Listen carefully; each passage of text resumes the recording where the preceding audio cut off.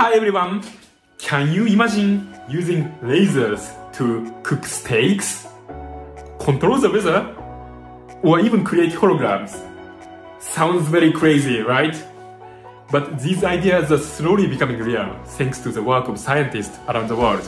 We are not there yet, but these futuristic ideas are coming sooner than you might think. I'm Katsuya Tanaka, a Japanese researcher studying the physics of light in Germany. In this video, I will show you some of the cool ways lasers might change our world in the future. Here are the chapters for today's video. So if there is a topic that catches your eye, you can skip straight to it using the chapters below. Just so you know, all the visuals are AI generated to make these ideas come alive.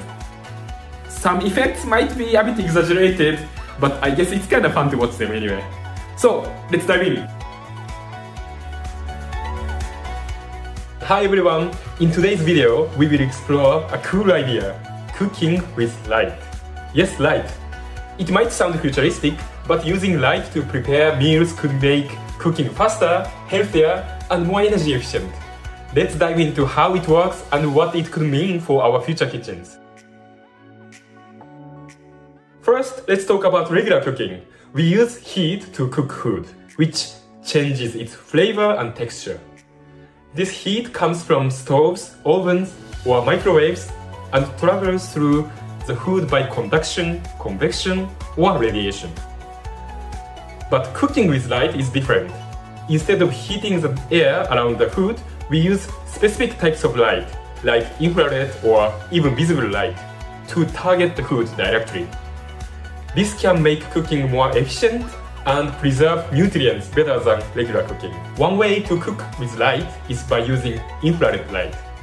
This type of light is invisible to us, but it can generate heat. Infrared grills already exist, and they cook food faster and more evenly by heating it directly, not the air around it. Plus, it keeps the food moist, which is great for grilling meat or roasting vegetables. Another type of light we can use is ultraviolet light which is good at killing germs. While UV light doesn't cook food, it can sterilize it, making it safer to eat. Imagine preserving food with just light instead of chemicals. This could help keep food fresh longer, especially in areas where food storage is difficult. Next is visible light, the light we see. Scientists are exploring how visible light could be used for cooking by focusing it on food in a controlled way. In the future, we might be able to laser cook food with incredible precision, grilling or browning food without overcooking it. Cooking with light has a lot of benefits. It's faster, more energy efficient, and can keep food healthier by preserving more of its nutrients.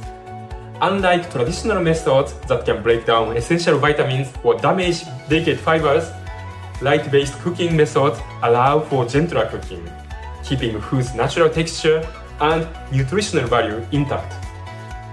But there are also challenges. The technology needs to be safe for home kitchens and it's still in development. It's exciting, but we have some hurdles to overcome before it's in our homes. In the future, we might have light ovens that use different kinds of light to cook food perfectly. You could even adjust the light to cook specific food. It's a cool idea that could change how we cook every day. Cooking with light may sound like something from science fiction, but it's closer to reality than you think. Hello everyone! Today we are diving into an exciting question. Can we actually use light to control the weather? It sounds crazy, right? But some scientists are already exploring how we might influence things like rain, fog, and even lightning using powerful laser beams. My name is Katsuya Tanaka, and I am a Japanese photonics researcher in Germany. And today, I want to share what I have learned about these fascinating experiments. So, let's take a closer look at what's happening now, what's possible in the future, and whether one day we might be able to create our own weather. So, here is the basic idea. When we talk about using light to change the weather, we are usually talking about using lasers. A laser is just a super focused beam of light that can be so powerful that it can actually changes the air around it. In experiments, scientists shoot high energy lasers into the sky. When the laser hit the air, it creates something called plasma.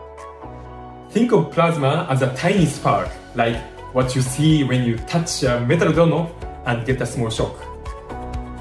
This spark makes tiny particles that can help water vapor in the air stick together. When enough water sticks to these tiny particles, you get raindrops. This technique has already been tested by researchers in different countries, like in France, Germany, and the United States. They have been able to create raindrops in a lab and even out in real clouds. But here is the catch. It only works if there is already enough moisture in the air. That means it's not like turning on a water tap. You can't just zap a completely dry sky and expect a downpour. Okay, so let's move to something even cooler. Controlling lightning with lasers. Lightning happens when there is a buildup of electrical charge in a storm cloud. When you see a flash of lightning, it's because these charges are jumping from one place to another. Scientists think lasers might be able to help control where this lightning strikes. The idea is to shoot a laser into a storm cloud. The laser makes a sort of path, like a shortcut for the electrical charge. If it works, the lightning will follow that path and strike where you want it to. Imagine being able to guide the lightning bolt away from a crowded city and into an empty field instead. This technique has been tested on a small scale, but there's still a lot to figure out before we can use it safely in real thunderstorms. Lasers aren't just for making rain or steering lightning. Some scientists are looking into using lasers to clear fog. When light from a special laser hits fog, it warms up the tiny water droplets, making them evaporate. But there's more to it. Lasers can also be used to detect fog density. By shooting a laser into the fog, it's possible to create a detailed 3D map of where the droplets are. This mapping helps scientists understand where the densest part of the fogs are. So they know exactly where to target the laser for most effective fog clearing. This could be super helpful at airport or busy highways when thick fog makes it so dangerous to drive or land planes. With both detection and clearing, lasers could become a powerful tool to manage tricky weather conditions. Have you ever been caught in a hailstorm? Those tiny ice balls falling from the sky can cause a lot of damage to your cars, crops, and even buildings. But what if we could stop them before they even form? Some researchers are looking into how lasers could prevent hailstorms. Here is how it might work. Hailstones form when water droplets are carried high into a cloud and freeze. By using a powerful laser, scientists might be able to release heat into the cloud at just the right spot to prevent the ice from getting big enough to turn into hail. Imagine using a laser to melt the hailstones while they are still tiny, turning a dangerous hailstone into harmless rain. Another cool idea is using lasers to create a kind of artificial sunshine during long periods of darkness or gloomy weather. Imagine using a special light beam to brighten up a city square during the winter when the sun barely comes out. This wouldn't just make people feel better, it could actually help with things like seasonal affective disorder, a type of depression caused by low light levels. Scientists are experimenting with different light wavelengths that could boost mood and energy levels, making it feel like a sunny day even when it's a gray and cloudy outside. Now let's talk about the future. Even though we are still far from having total control over the weather, these laser experiments are just the beginning. scientists are trying to make these techniques work over large areas. Imagine using a laser to make it rain over a farm suffering from drought or clearing fog at the busy airport on demand. But there are some big questions to answer before we can really use lasers to change the weather. For example, what if messing with the weather in one place accidentally causes problems somewhere else? Imagine making it rain here, but it leads to a drought somewhere else. That's why researchers are being super careful and doing lots of small experiments before going bigger. So can we control the weather? Well, not yet. But these experiments show that it might be possible to nudge the weather a bit. Maybe make it rain a little bit more, or control where lightning strikes. It's not like turning the sky into a remote control. But who knows? In the future, with more research, lasers could become a tool to help us deal with weather problems, like droughts, dangerous storms, or thick fog. For now, it's more about understanding how light interacts with the weather than actually controlling it.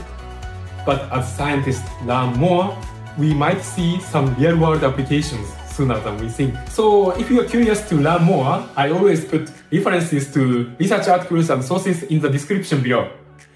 Feel free to check them out.